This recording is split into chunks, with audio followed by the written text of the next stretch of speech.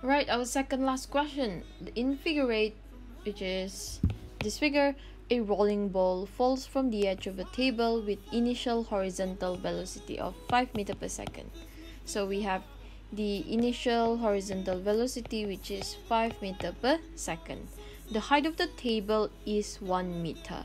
Okay, again the ball is falling down which is which means that the sy here would be equal to negative 1 meter okay and then based on this diagram this this uh, velocity this initial velocity is at the horizontal meaning at the y component it is equal to 0 okay?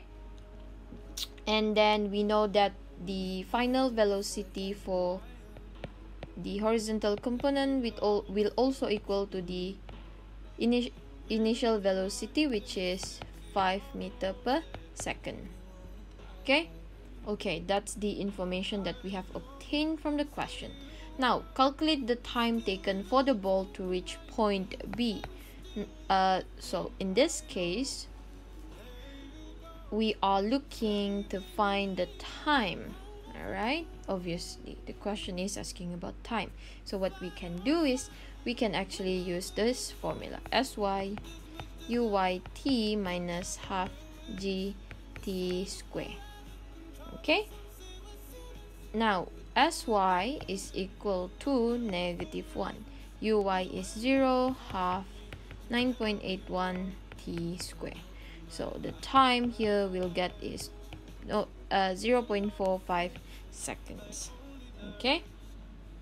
Easy right? Yes easy. Now question b the horizontal distance. We know that for horizontal component acceleration is equal 0 meaning our formula will end up like this. Okay? So this one ux is 5 t is 0 0.45 seconds. And then so we'll then get the horizontal distance to be 2.25 meter. Okay? Okay now see the magnitude and direction of its velocity at point B.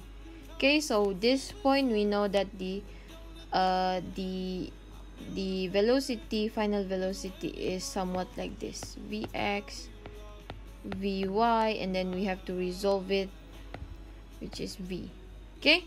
All right so now let's find the magnitude. Vx is 5 meter per second. Vy is uy minus gt which is 0 minus 9.81 t is 0 0.45 so you'll then get uy a eh, vy to be negative 4.41 meter per second. Again negative is telling us the direction which is going downwards. Okay? Okay now we have the information. We can then find the magnitude which is vx square plus vy square. Just substitute the values you'll then get 6.67 meter per second.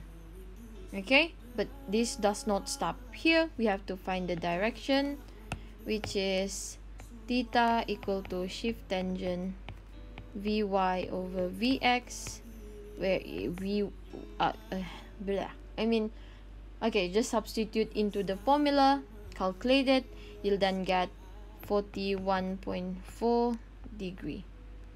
Okay, so the 41.4 degree means it is the it is below the positive x axis okay okay so that is our question 9